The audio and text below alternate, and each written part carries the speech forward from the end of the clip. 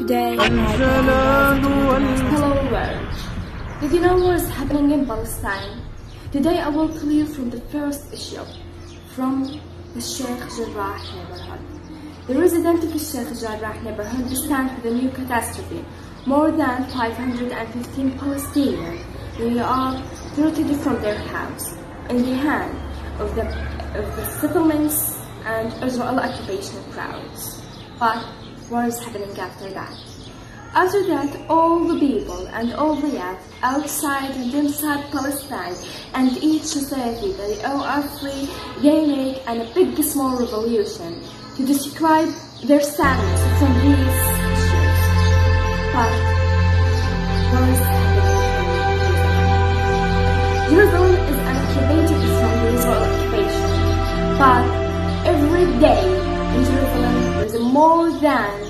two or three murders uh, that are just passed away. But on 10 May 2021, on down, the Israel occupation attacked the Mosque, and they determined for all the religious respect. From this, from this time, was happening. All the people and all the Muslims and everyone who respect the religion, they just come out making a revolution. At 6 p.m. on May 10 May 10th May 2021, bombs stars over Gaza and the world star.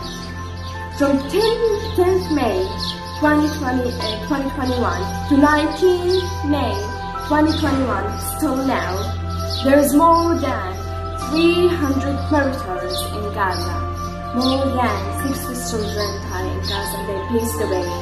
More than 5 to 5 to 6 stores destroyed in Gaza. More than 10 to 15 streets destroyed in Gaza. Hospitals, libraries, children, peoples, citizens, homes, schools, away and destroyed in Gaza. More than 8,000 people now refugee in the school because the north, Rafah, and the Wahda Street was destroyed. No house, no hospitals, nothing in the streets. But the bombs start over Gaza at night. From from from the night the night starts.